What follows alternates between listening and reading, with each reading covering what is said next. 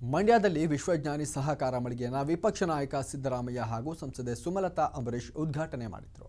ಮಂಡ್ಯ ನಗರದ ಅಂಬೇಡ್ಕರ್ ರಸ್ತೆಯಲ್ಲಿ ನೂತನವಾಗಿ ಮಳಿಗೆ ನಿರ್ಮಾಣಗೊಂಡಿದೆ. ಮಳಿಗೆ ಉದ್ಘಾಟನೆಗೆ ಸಂಸದೆ ಸುಮಲತಾಗೆ ಮಾಜಿ ಸಿಎಂ ಸಿದ್ದರಾಮಯ್ಯ ಸಾಥ್ ನೀಡಿದರು. ಇದೇ ವೇಳೆ ಕಾರ್ಯಕ್ರಮದಲ್ಲಿ ಡಿಎಸ್ ವೀರಯ್ಯ, ಮಳವಳ್ಳಿ ಮಾಜಿ ಶಾಸಕ ನರೇಂದ್ರ ಸ್ವಾಮಿ ಸೇರಿದಂತೆ ಮುಂತಾದವರು ಉಪಸ್ಥಿತರಿದ್ದರು ಅಂತ ಸುಮಲತಾ ಮೇಡಮ್ ಕಾರ್ಯಕ್ರಮಕ್ಕೆ ಬಂದಿದ್ದಾರೆ.